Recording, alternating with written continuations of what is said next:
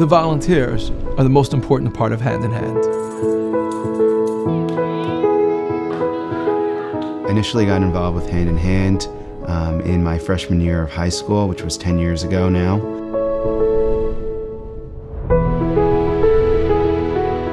So I found out about Hand in Hand when I was a sophomore in high school, about six years ago, and we were matched with uh, Michael and Zachary.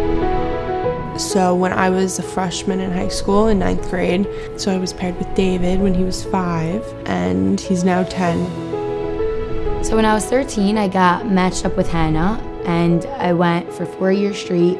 We would do um, puzzles, art projects, and I think it's so easy to click with Hannah more than any other friend. It's because you could literally tell her anything and she won't judge you. Like, it's just, you laugh. It's like you could be yourself. Over time, it just became, how could we not go to Hannah this week? It was the highlight of our week.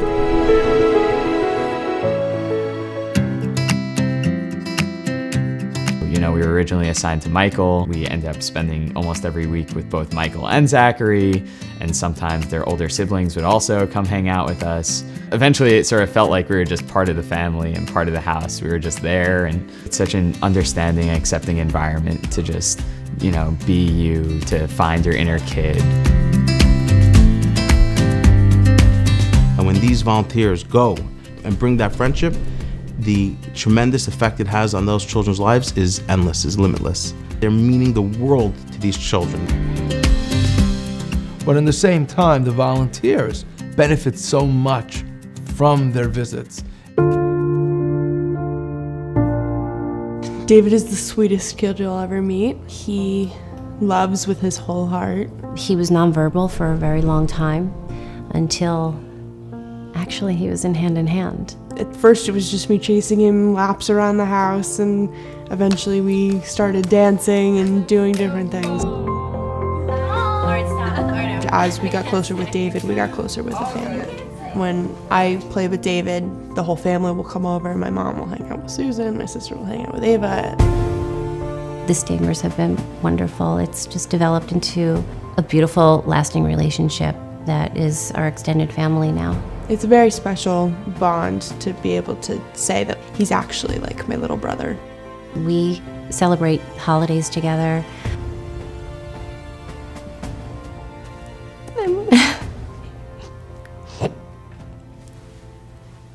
we miss Hannah. So proud of her and I'm going to Boston University. She's she's just grown up to be such a beautiful young woman. Two years ago, I started college. I go to Boston University, and it was a hard transition for both David and I. I have tried to stay connected with David as much as possible. And when I'm home, I take him to the beach and I see him all the time.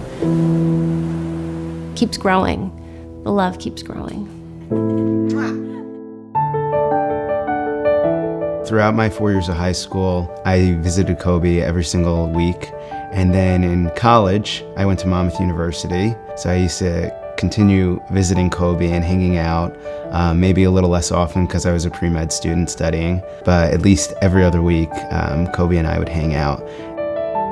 So now I moved to New York and I go to school there, but we still keep in touch with Hannah regularly. Her mom will send us videos of her and pictures of her. Recently I came back and I took her to Dunkin' Donuts. We even surprised her on her birthday recently, and it was so much fun. She had no idea we were coming, and the smile on her face when we got there, and us, really, it was unforgettable. When they volunteer as teenagers and they develop appreciation for who they are and how they could give back, it continues to affect them for years to come. I've definitely seen the impact that the program has had on me through college as well. Last year, I signed up to volunteer for a program called Evolve Coaching, which helps uh, college students with special needs have mentorship and understand how to do job interviews. And I was definitely inspired to be a part of that program from Hand in Hand.